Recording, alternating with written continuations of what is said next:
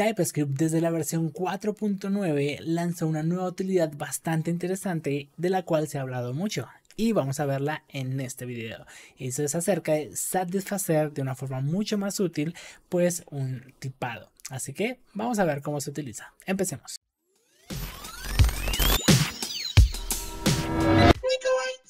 Así que estoy aquí en mi editor y recuerda que esta funcionalidad solo va a estar desde la 4.9 de TypeScript en adelante. Entonces, pongamos el siguiente escenario. Tú tienes una constante, ahí está, y esa constante la vamos a llamar rows. Listo. Ok, aquí cada una de las rotas tú quieres definir que tenga un nombre, pero pues que tenga unos atributos. Por ejemplo, que tenga un path que me diga cuál es el path, es decir, por ejemplo, en dónde está ubicado. Y segundo, un título. Por ejemplo, si esta es la del out, voy a llamarle login page. ¿Ok?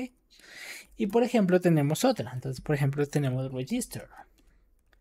Y entonces el path va a ser slash register. Y digamos que no tiene title. Y listo. ¿Ok? Si tenemos esto, realmente el motor de inferencia de TypeScript va a ser tipado en automático. ¿Qué quiere decir? Que aquí me va a decir, mira, routes tiene un atributo llamado out y register. Y si yo voy a punto .out, pues me va a dar lo que hay allí, es decir, un objeto que tiene un path y un title.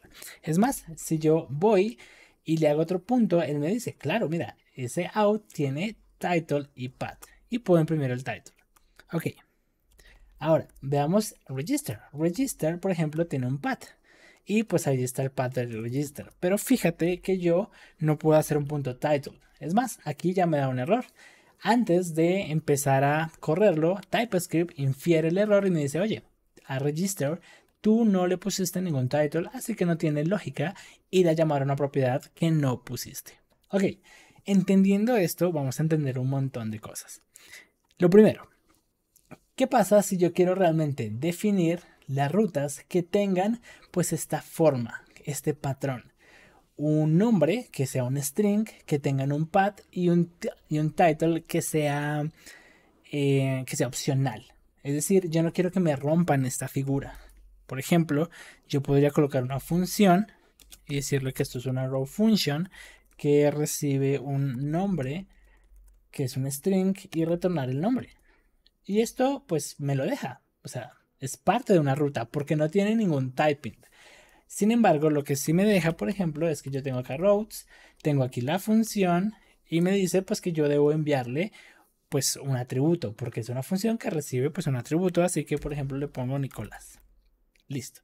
Esto está mal, pues simplemente title no lo tiene, function realmente sí lo tiene, pero realmente rompe con con lo que es la definición de una ruta. Entonces ahí es donde uno normalmente empieza a crear sistemas de tipos. Entonces en este sistema de tipo, por ejemplo, voy a declarar que es una ruta. Entonces le voy a decir, mira, una ruta, para mí una ruta lo que debe tener es un path, que es un string, y va a tener un title que es opcional.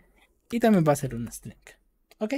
Entonces esto es lo que debe tener pues una ruta. Sin embargo, fíjate que esto no es un array de rutas, es un diccionario o un objeto en el cual pues este, el objeto como tal, tiene esa forma, pero luego yo lo asigno con un string, es decir, out eh, register, acá el, string fue function y le agregué pues una función, etc. Entonces aquí podría utilizar otro, otra de las funcionalidades de TypeScript llamada eh, el record type. Entonces le voy a decir, ok, esta es una ruta, pero las rutas van a ser igual a un record record. Y recuerda que si no conoces el record type, ya tengo también un video de cómo, cómo funciona el record. Entonces, pues puedes ir a verlo. Pero básicamente lo que le estoy diciendo es, oye, yo necesito un registro, es decir, un objeto que su clave sea un string y el objeto que se le agregue sea de tipo route. ¿Qué significa? Que si yo tipo esto con routes, esto ya me falla y me dice, oye, tú no puedes declarar un function porque no tiene la forma, no tiene un string como parte de, pues aquí realmente esto sí es un string, pero esta es una función y pues debería cumplir con un un title. Entonces aquí ya tengo algo interesante, es decir, debo tener, así eh, sea path, pues debo cumplir, debo cumplir con ponerle, por ejemplo, eh, function. Entonces allí tengo ya algo que hace que no me agreguen cualquier cosa, una función, un número. Por ejemplo, digamos que agregue otra cosa como hola y le agregue un número. Él me va a decir, oye, no está permitido. Tú lo que tienes que agregar es un route, es decir, algo que tenga un path y posiblemente un title. Y su clave tiene que ser string. ¿Qué quiere decir que sea string? Pues que precisamente, que precisamente no me van a permitir agregar un número, por ejemplo. Yo no puedo agregar un número, aunque aquí me dice, oye, tú tienes que agregar un string, no puedes agregar un número como la llave de ese objeto. Ok, eso fue de por sí repasar un poco del record type, pero no como tal el nuevo, pues, eh, utilidad de TypeScript que vamos a empezar a verla. Entonces, esto tiene una debilidad. ¿Cuál es la debilidad número uno? La debilidad número uno de esto, eh, o de tiparlo de esta manera, es que básicamente yo puedo, aquí yo empiezo a, empiezo a proteger la forma de declararlo en este bloque de código. ¿Sí? Por ejemplo, aquí yo agregué un número, no me deja.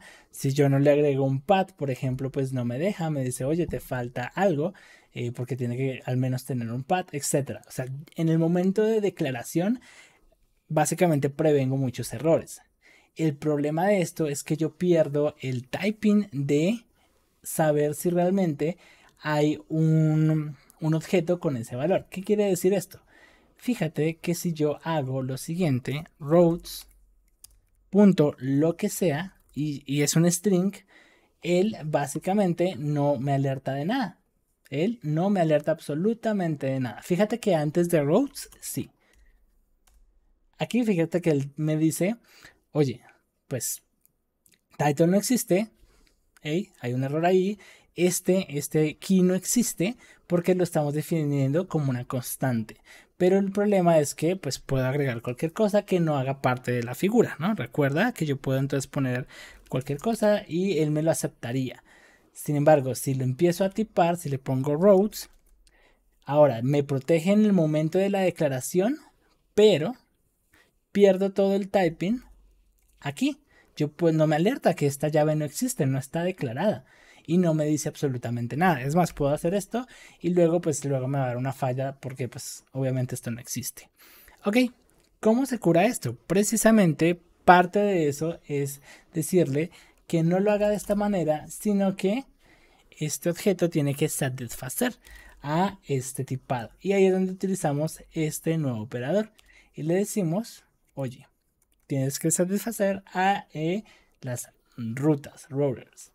Ok, fíjate que aquí, ahí sí tengo las dos ventajas. Es decir, si incluye un valor que no pertenece a la forma de un routing, me avisa, pero también fíjate que acá, acá me está diciendo, oye, register no tiene title y tampoco hay una propiedad llamada S, pues bueno, esta, digamos que sea una nueva ruta llamada admin, esa no existe. Me dice, oye, la propiedad title no existe en register y tiene razón, no, no existe. La propiedad admin ni siquiera existe, así que te va a dar falla. Y además de eso, pues me permite igual a la hora de declararlo, no agregar un valor que no pertenece a la forma de un route, porque los únicos que deben ser aceptados es el path y un title como opcional como por ejemplo este. Es más, si yo le agrego un número, fíjate que no, porque tiene que ser un string. Entonces esto es register. Y entonces ahí es donde este cumple con, como con una intersección entre las dos. Con una constante tenía como un fuerte tipado aquí, pero internamente al momento de asignar los valores podía romper el valor de una ruta o lo que se considera una ruta, que tenga un path y un title. Y si yo lo pongo desde acá, pues lo puedo empezar a declarar y y me va a tipar pues al momento de empezar a declararlo, pero pierdo el tipado en este punto. Entonces de esta manera pues ya puedo tener lo mejor de los dos mundos. Aquí me avisa que no hay ninguno llamado admin y esa es un gran, una gran utilidad de este nuevo operador. Ahora, ¿quieres ir un poco más allá? Fíjate lo siguiente, fíjate en este hack. Ok, fíjate que aquí voy a ingresar esa ruta, admin. Entonces aquí como ya tengo lo mejor de los dos mundos, Es decir, yo no puedo ingresar cualquier valor, ¿no? Me dice, oye, ese valor no existe, no es parte de una ruta, tienes que tener un path. Entonces aquí le agrego el path. Y entonces eh, le digo que esto es slash admin. Entonces fíjate que aquí, como tengo lo mejor de los mundos, aquí también me avisa, oye, de punto admin, eh, realmente no existe esa propiedad llamada bla bla bla, sino que pues existe una propiedad llamada porque esa fue la que fue definida. Entonces, recuerda, tengo lo mejor de los dos mundos. Sin embargo, hay algo muy interesante que se puede empezar a unir. Y es lo siguiente. Por ejemplo, title, si tú miras aquí, dice que es un string.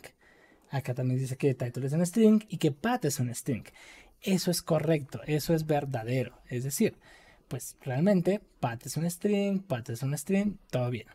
Ok, pero te pongo el siguiente caso. Y esto sí depende de cómo lo utilices. Entonces, por ejemplo, si yo hago esto y le digo que title es igual a, no sé, slash slash register, este if pues tiene sentido porque el title es un string. ¿Qué quiere decir? Que title pues va a evaluar el string que hay aquí y me va a decir si es igual al register. Es más, aquí me dice que false. Es decir, pues realmente no porque si yo lo imprimo, es más, imprimámoslo. Imprimamos en este momento a title. Ahí está. Me dice que, eh, ah bueno, y es más, imprimamos el path es el que vamos a poner. Entonces, el path is out obviamente no es igual igual a register. Es más, así yo le hiciera un triple igual, igual sigue siendo false. Entonces, tú puedes utilizar el Sidefice y realmente está muy bien de esta manera. Pero aquí te voy a enseñar un truco de unirlo. ¿Qué quiere decir esto? Que si tú quieres proteger esta forma en la que fue creada y realmente esto no va a cambiar, es decir, va a ser constante y tú no vas a permitir modificaciones, sino que una vez creado y asignado el valor, pues ese es el que queda, puedes agregar lo siguiente y te va a tener un, typing mucho más estricto.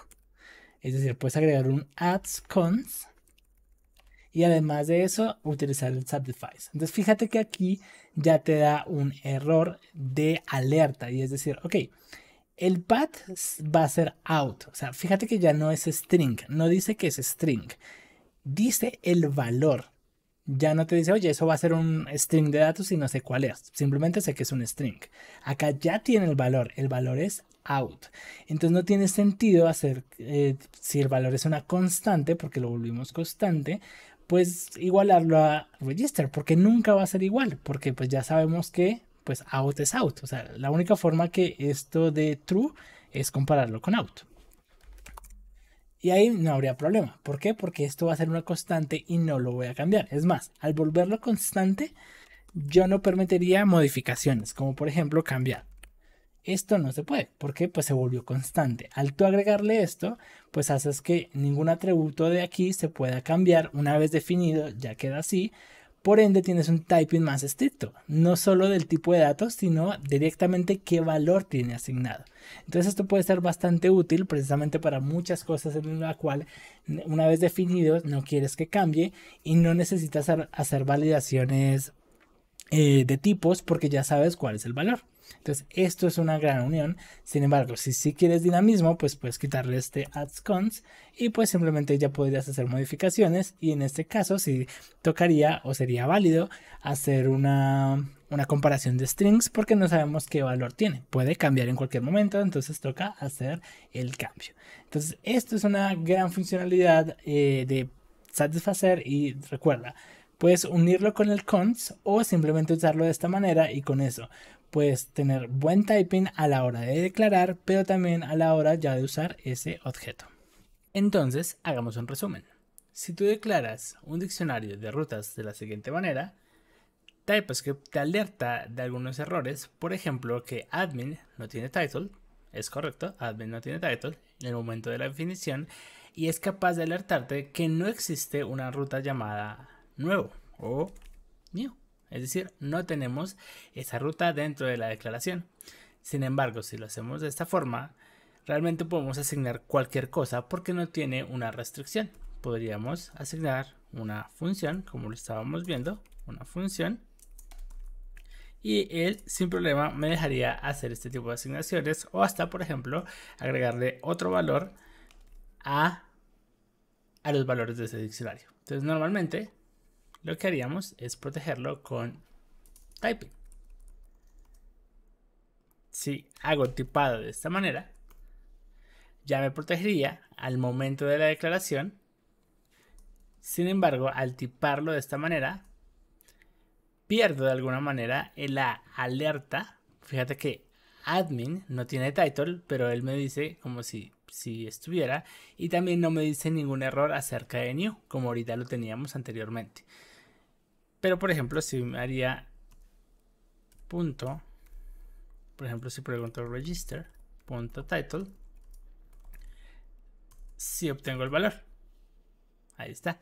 Pero de new y de admin.title perdí esa diferencia que me hacía TypeScript eh, al momento de que me alerta que esos valores no existen. Sin embargo, está tipado y lo protegemos en el momento de declarar. En el momento de declarar, pues no me permite hacer ningún tipo de error. Sin embargo, con el Certifies, ahora lo que tengo es la unión de estas dos cosas. Podría declararlo como constante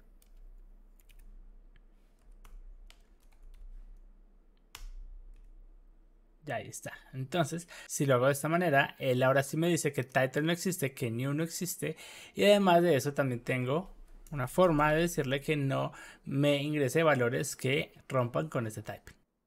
Y ya, eso ha sido todo por el video de hoy. Recuerda suscribirte a este canal, déjame en los comentarios qué tal te pareció esta nueva funcionalidad y tener lo mejor de los dos mundos y tener un tipado muy interesante, estricto y flexible dentro de tu desarrollo, dentro de tu software. Recuerda que TypeScript puede reducir solo por hacer inferencia de tipado el 15 puede reducir el 15% de bugs dentro de tu sistema. Así que recuerda suscribirte porque subo bastante contenido respecto al tema. También recuerda, tengo un curso de TypeScript en Platzi. Realmente tengo tres cursos en los cuales vamos de básico, luego funciones muy avanzadas como de este tipo y también empezamos a hacer promoción en objetos. Así que te invito a mis cursos de TypeScript en Platzi. Recuerda, me puedes seguir en Instagram como Nicobytes y también en Twitter como arroba Nicobytes. Así que nos vemos en la próxima.